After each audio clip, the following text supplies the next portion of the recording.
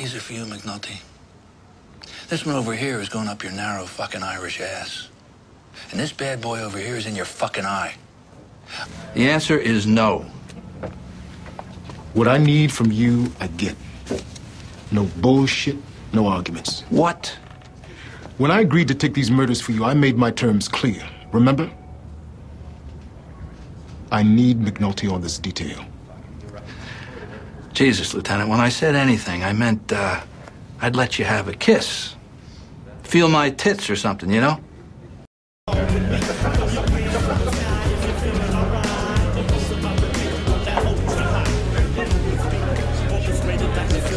you a drink? Why the fuck you coming up behind me? Sorry.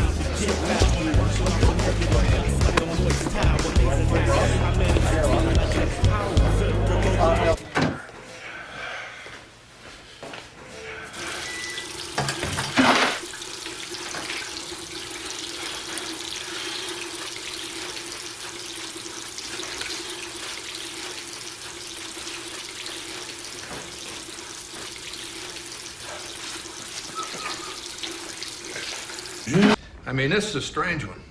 I've heard of people going after street people, but it's usually adolescent sadism, this sexual thing. It is different. We put it out on VICAP and we have no hits anywhere else in the country. I mean, I'm all for a little kinky shit now and then, but chewing on a homeless fella?